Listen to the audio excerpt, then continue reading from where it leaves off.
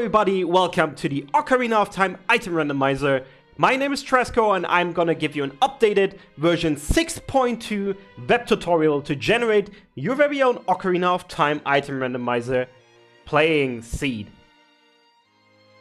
Since the last tutorial that we did for version 5.0, the OT randomizer interface and website did not change much, so if you already know how to play OTR, this video will not give you a lot of information. However, if you just start out and want to see and live the fascination that is OT Randomizer, this video is for you.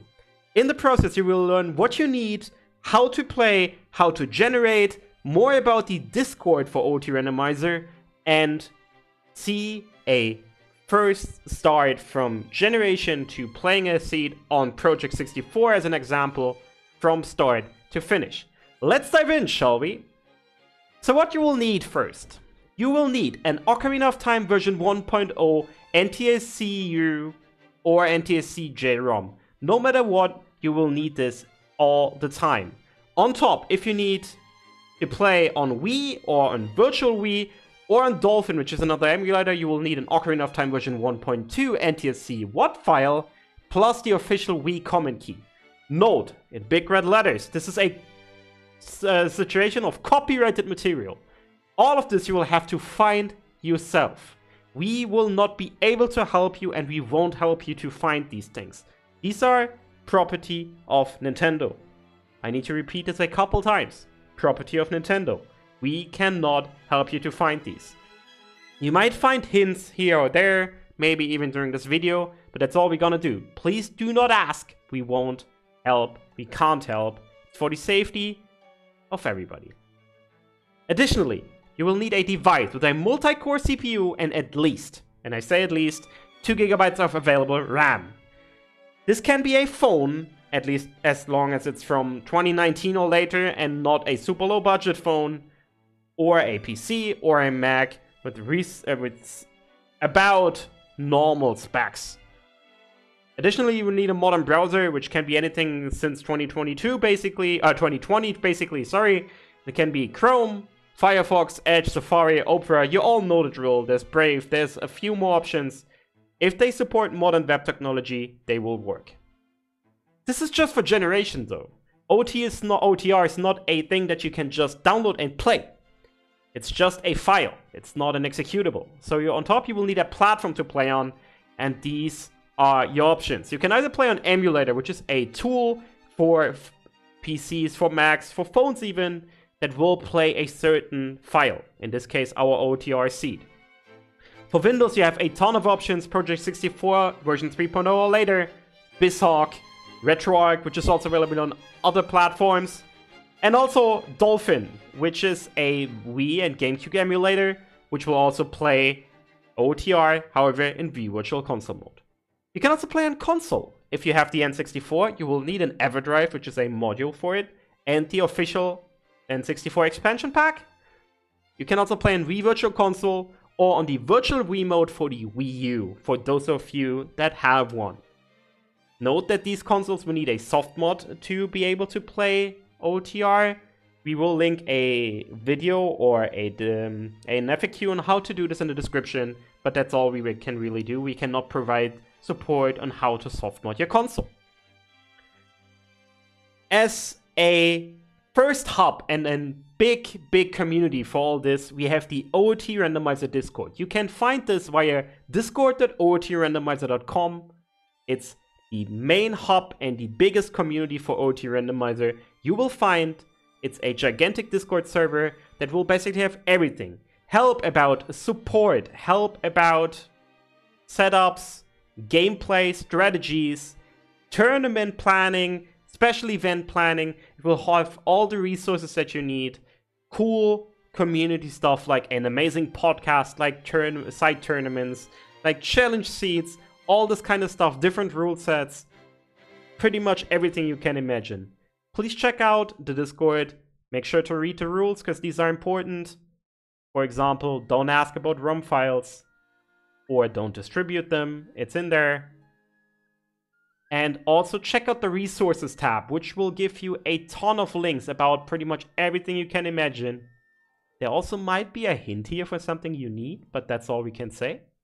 Um, so if you want to find out more about OTR, this is where you want to be. We are looking forward to see you there. All right, let's dive in. So this is the OT randomizer website. OTRandomizer.com is basically all you need to get going and start OT Randomizer yourself. This is the starting site, the index page, and there's just one thing that's really important for you right now, and this is the play now button. So let's hit the play now button and see what we have here. All right, so this is your generation page. This is where basically the magic happens. This is your interface that you will need to play OTR. This is also available as a downloadable version if you click on downloads in the upper corner up here. Under instructions help, you will basically see all that I will tell you right now or later. And we don't need that right now, so let's see what we have. The first tab that we have is the ROM options tab. It's your starting point. Really important for you as a beginner, there's settings presets. So basically presets that the community created and crafted for you to get going. As a newcomer, I always recommend that you start with easy mode, which is an, a preset that will give you an easy start. There's also other options, even really hard options, but for beginners, easy mode is really recommended. Even if you know Ocarina of Time, don't go too harsh on yourself for the first time. Hit the preset you want, hit load, all you need. You always want to create a spoiler log. Spoiler logs are just basically an instruction set on how to solve a seed, where all the items are, how the hints look like, and so on. Even if you don't want to spoil yourself, make sure to create it. Just don't check it. If you get stuck, we cannot really help without a spoiler log. On the other tabs, you can find something about the actual settings. The main rules, which um, decide how the world is structured, how the world is opened up for you, how the world is shuffled. You can even shuffle the entrances. So, for example, if you take uh, shuffle overworld entrances, by the way, if you hover over the options, you will see a tooltip. Basically, most entrances in the world of Ocarina of Time randomizer, for example, overworld entrances like entering Hyrule Castle, can be switched to something else. Entering Hyrule Castle could bring you to Kokiri Forest, or even to the Gerudo region, or to Lake Hylia. It's all an option.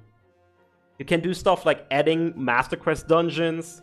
You can shuffle in different stuff besides the items, like the shops can be shuffled, the tokens, the Golden Skulltula tokens can be shuffled across the world, and so on. And you can also shuffle dungeon items like the keys, for example, or maps and compasses if you want to use them. There's also a logic rules option, which allows you to even put glitch stuff into logic. Logic is basically the base concept that keeps the seed together and makes sure it's possible to solve.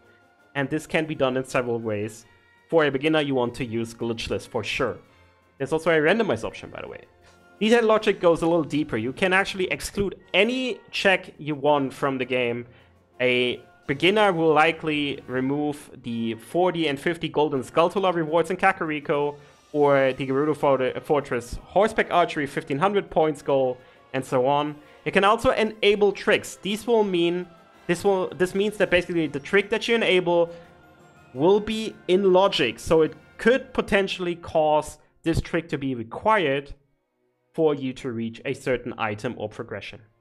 Starting items is self-explanatory, and on other, you can find certain time savers, misc stuff like the hint system, which will basically equip the um, gossip stones that you can find across the world with interesting uh, trivia and helpful hints about the seed that you're currently playing. You can change the damage, you can change the starting time, all this kind of stuff. Um, and then there's also the cosmetics tab. OTR does not have custom models. You cannot play as another character, but you can change all the different colors. You can even change stuff like Navi coloring, the sword trail, and so on. You can randomize all of this. And you can also change the sound effects, like background music, like the low heart uh, uh, health points beep, all this kind of stuff. For now, we're just gonna do something crazy and change the menu cursor to a medium fan fanfare, just because it's fun. All that's left is to hit generate seed. There's also the option of generate race seed. You will not really need this when you start out. It's basically just for races. It will encrypt the seed and also hide the spoiler log by default to make racing cleaner and easier to monitor. In most cases, you want generate seed. So let's click generate seed. A seed generation will take about 15 seconds, depending on workload the website. It might take a little longer, but it's not a long task. After it's done and you're about to see this, you will be greeted with the actual seed page. You can see this on seed get in the URL. This is the page that gives you the OOT randomizer seed. If you want to share this seed with your friend, don't need to share the ROM. You can just share this page and say, okay, here, download it yourself. It will also give them the option to use their own custom cosmetics and SFX, which is why these two are, tabs are back here. So if you want to change them after generation, go ham and find out what you want. Besides that, you only need to do what I showed you earlier. There's a base ROM option here. Just enter your Ocarina of Time version 1.0 NTSC URJ ROM here, and that's all you need to do. If you want to play on Wii Virtual Console, of course, there's more.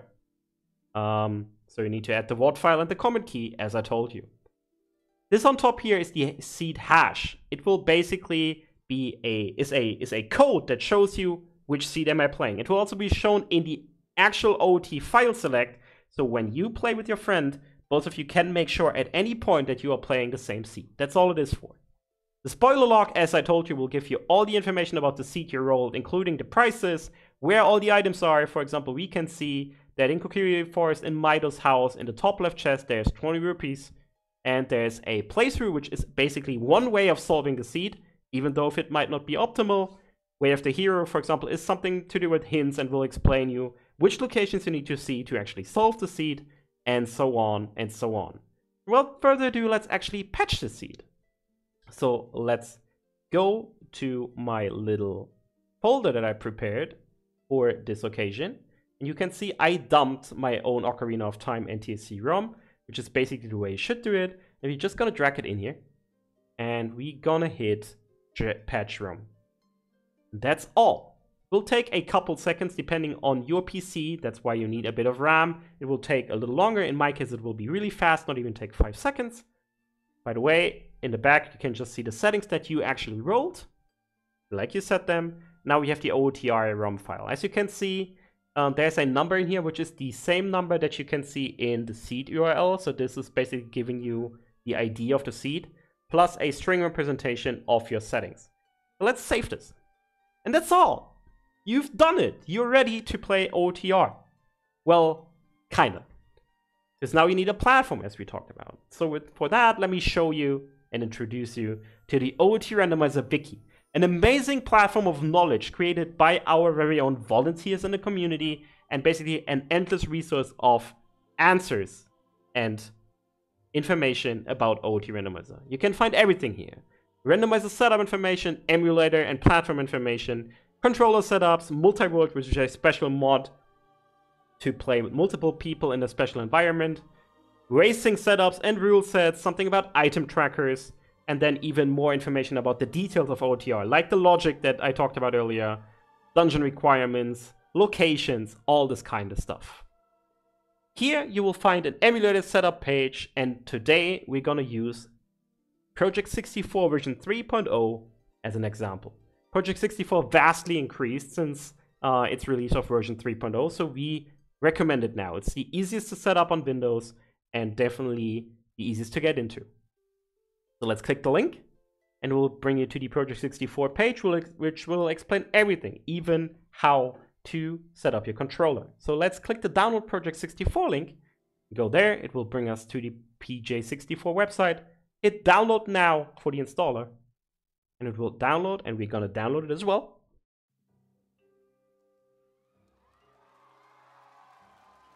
And after it's downloaded, we actually gonna do the install. So as you can see now, Here, I will make this a little bigger. It downloaded the setup files. Let's set up and let's execute. And now we are in the setup of Project 64. We hit next. We select the path that we want to go to. So we go to my tutorial folder that I created and hit next. Create a desktop icon. I don't want that. And we hit portable mode in my case because I want to be the uh, want the settings to be in the folder that I just install. It's a little cleaner in this case. You don't need it. Hit next and the emulator will be installed. That's all you need. And now we can start Project 64. Let's do that. And it will start Project 64. As you can see, it starts with a welcome screen. So we want to set up a game, a game directory. We don't need to do that, but in our case, it's cleaner. It will instantly show you all the seeds or all the ROMs in your folder. And as you can tell, we recommend GLideN64, with Project 64 video for really old devices is an option. Alright, let's hit OK. And note, you see this page, but also this disclaimer popping up um, that I currently cannot show you because um, it's kind of stuck in OBS. Um, I will still try to get this on the screen. There you go. So this is your Project 64 disclaimer. It's a free tool and will be a 30 second counter before you can use it. It's a good piece of software if you want to support it. You may consider it. Alright, after this is done, um, we can actually continue and let's go back to Project 64. Let's make this big actually. And um, so what we want to do, only want to really do two options or two things. Um, we need to go to the graphics settings in my case and set the window to be a little bigger because else it's really small. And then actually I'm gonna make it smaller again. Um, like this, a little cleaner. And then we're also gonna set up the controller. So we could uh, just go ahead and um, use a controller, but in my scenario, I will just use the keyboard for now because it's possible. Or, no, I'm actually going to use my controller. All right, so let's set up my controller in a way it's feasible, just quickly. Up, down, left, right. Uh, the C stick, B and A, the triggers, Z trigger and start, and that's all you need. And confirm. And now we have our seed. You can see it again. We had it earlier. Now we bring up the seed. And we just hit twice. And as you can see, there it is. OOT randomizer. It's there. And just now, you already know it worked because it shows OOT randomizer. We hit start.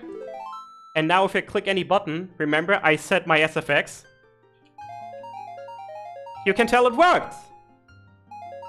On top, you will also see the seed hash. It starts the mushroom. It ends with the uh, paper rate, as we call it in OOTR. And if we check that on the page itself, it's identical. So you're now ready to play OOT. You can just start a file, and hit go. You will actually get an item overview here. And let's start yes. And that's all. That's all you need to know. You are now ready to play OT Randomizer. Check out OOTrandomizer.com, discord.ootrandomizer.com, wiki.ootrandomizer.com, and I hope you all learned something. Thank you all for watching. My name is Tresker from Zelda Speedruns. We do plenty of tournaments and special events across all of Zelda. Also, a lot of OT randomizer. If you want to check us out, see you there. Twitch.tv slash Zelda Speedruns. Thank you all for watching and enjoy OTR.